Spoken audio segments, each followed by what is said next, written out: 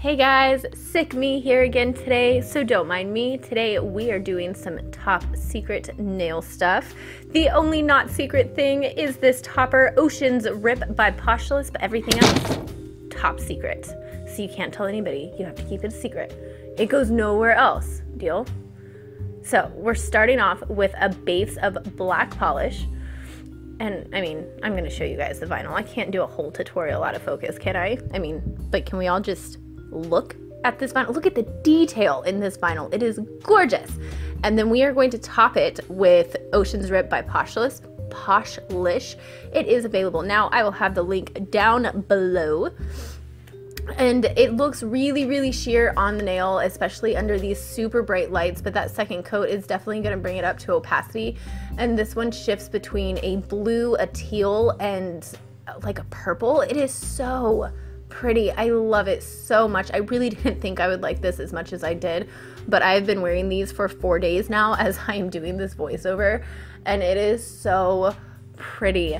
I'm obsessed. And as you can see, I'm being pretty gender ginger. Wow.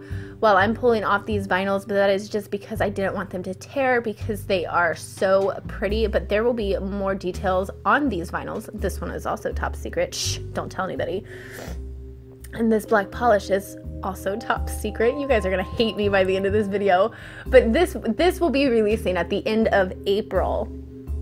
And you will be seeing much more information on these vinyls coming. Just know that they are fantastic and that you should definitely be following Vinailicious on Instagram. I will leave her linked below.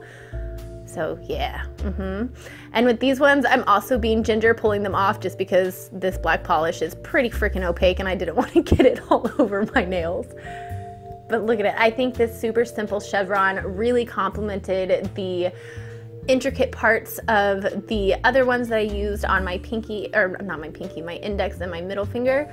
It is so gorgeous. And then I just topped it off and then I put on the Glisten & Glow matte top coat, which is hands down my favorite top coat for matte. Like it is so matte, but so smooth and so pretty. Look at that.